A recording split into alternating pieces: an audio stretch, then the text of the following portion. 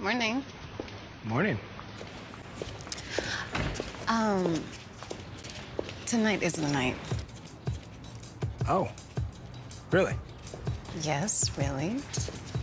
My place or yours? Jealous dog or nosy roommate? Tomorrow knows. What? You told her? No, she has eyes. I didn't have to, but she is staying at her friend's tonight, so